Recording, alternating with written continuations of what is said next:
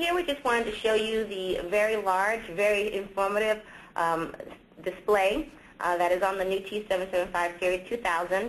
Um, it's a very uh, easy to follow and um, uh, display. The programming of the T775 is also very easy to follow. It's very intuitive. It's very similar to like programming your cell phone. Uh, we try to use very easy, plain, simple uh, English uh, for you to follow. Um, and we think we've been very successful in, in doing that uh, by some of the feedback that we've received from the field. Uh, the LCD display does give you some very important information without delving into the actual programming of the, of the controller. From the very home screen, you can see your relay status. If you have a model that has four relays, uh, then the number of relays will display at the very top. If your model only has two relays, then you'll just have relay 1 and 2. Uh, beneath the relays is your relay status. It'll tell you if your relays are energized or de-energized. Uh, below that, we have your sensor, your sensor inputs. Uh, here you can see them labeled as room and outdoor. Uh, this controller does give you the ability to um, choose from a canned uh, uh, selection, but it, it, allows you to choose your um, labels for your sensors. So you can choose labels that are pertinent uh, to your application and mean something to the end user. Uh, then you have your modulating outputs. So if you have a model that has a modulating um, output, that status will display uh, on the bottom of the home screen, and you can actually see your percent out. Next slide, PJ. Yeah, and I just want to add, it, it truly is. In a quick snapshot, you see exactly what's going on with the system. And we've said two things. We said it was, it's very powerful. You saw that in the previous slide.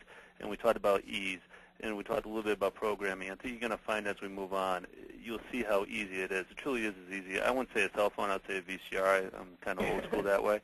But um, as we move on, the two best things about this controller is its power and its ease of programming. And I, and I really want you to, to, hopefully we get that out of this. Okay, so I'm not quite sure how many of you out there are actually familiar with the old T775, the tan and brown uh, controller that PJ mentioned earlier. Um, but my understanding, I wasn't around for that controller, but my understanding is that that was a very uh, challenging controller to work with, especially when using reset. Uh, and one of our goals with the new controller was to vastly simplify the reset programming on the controller. Yeah. So now instead... If I could add real quick, absolutely. Sure. I had to send out a cheat sheet for the for the reset model alone. We couldn't do it just with the instructions. So Honeywell actually created a separate cheat sheet for my customers that we could send out with each one. So now instead of worrying about dip switches and relay, um, sorry, uh, reset ratios, uh, now all you need is simply four data points. You need your high and low control temperatures, which if you're doing a, a boiler reset, would be your boiler max and your boiler min, and you need the corresponding high and low outdoor temperatures. Uh, if you're doing a boiler reset, then you want to use the, the programming menu to the right on the right, which highlights the boiler max, your outside min, boiler min, and outside max. And of course, you can reset other things besides your boiler. If you want to reset your discharge air temperature based on your room temperature, you can do that as well. Uh, in the controller, you can choose Reset, Other, and you would get the, um, the display to the left, which would ask you to put in your maximum set point, uh, your minimum set point, and then your um, reset B, B1, which is your outdoor uh, temperature here. So again, you only need four, four points to set up this reset curve. The controller sets the curve up for you and actually displays your set point on the home screens for each output. Which is terrific because now you can see your actual set point, and then you can also remember you can see what is the outputs, how many relays are running, or what is your modulating output, so you can tell if it's working properly. Um, and yeah, absolutely ease. If you look to the one on the right, which is one we're talking about today, the boiler reset, if we just keep hitting enter, this thing's going to take you through step by step from boil max all the way down to exit. Once you get to exit, this, this controller is programmed. And I just want to point out the differential in this, and I talked about this in the last presentation. The differential is an important thing. When you're dealing with the modulating output, your differential is, is factory set at 20. We need to keep it there because it's not a temperature differential, but it's a proportional band. And that'll keep the control from short cycling, and that's why they made that as default as 20. That 20 also carries over into the relays.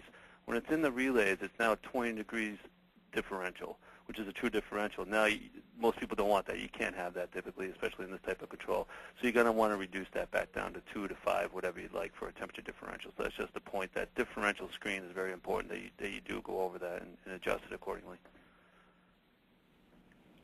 Uh, one thing I do want to mention, uh, and it speaks to, again, the versatility of the controller. The T775R has the ability to do a reset. If you do not want to reset some of your outputs, you have that option as well.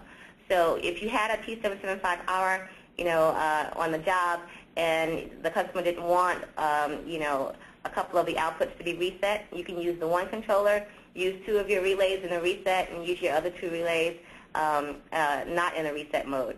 These are all independent outputs, so you can um, choose which outputs you want to reset, if any. Which is nice for pump control because you can set one for reset, then the next relay for your pump, uh, one weather shutdown if you wanted to. Now, also keep in mind that when you do set it for reset, and if all the other relays are set for reset, they're going to follow the same curve. There's only one reset curve per controller. That is correct. correct. That leads me into my next point. Uh, there is a single curve, uh, reset curve for the controller, and that curve must be set up on the very first output of the controller. So if you have um, a modulating output model, then that reset curve must be set up on the first mod out output, and then you can use that same reset curve for all subsequent outputs. Sensor A is always the controlled temperature, so in a boiler reset, that would be your boiler water temperature, and sensor B is always going to be your outdoor temperature. Next slide. And here I just want to give you a, an example of how the controller sets up that reset curve for you. In this example, um, when it is 20 degrees outside, you want your boiler operating at maximum capacity. That's 210 degrees. Um, when the outdoor temperature begins to, to heat up, and as it moves to 70 degrees outside, you don't need that boiler operating at you know, the maximum temperature. You can reset that, so now the set point will be 160 degrees. And that's where you get your, your cost savings. So that red line is actually um, configured for you in the controller, and the set point is actually displayed for you um, on, on, the home screen. One thing I didn't show you on this um, in this presentation is that the T775 has multiple home screens. The first home screen that you saw is the live home screen, which displays your sensor inputs. There's a home screen for each of your outputs on the controller. So if you have four relays and two modulating outputs, then you will have six additional home screens that you can go in and you can see your set point for that output, you can see the sensor that it's controlling to, and you can see if that relay is energized or not. Um, the nice thing about this uh, reset curve is that your set point won't exceed um, or go below your maximum minimum temperature. Which is important for your condensing boilers. We've got to definitely set that minimum to a certain um, degree. That way we don't have any, any kind of sweating of the, of the boiler. Okay. Um, another nice feature on the controller is the um, uh, interval uh, time clock and scheduler. Uh, each T775 comes with its own time clock and scheduler, so you no longer need uh, an external time clock. Uh, you have the ability to use the setback feature um, on the, the digital input and for the scheduler, so you can set back the temperature um, during unoccupied times and, and, save energy that way as well. Um, you can access the setback by either using the scheduler or using the digital input on the controller.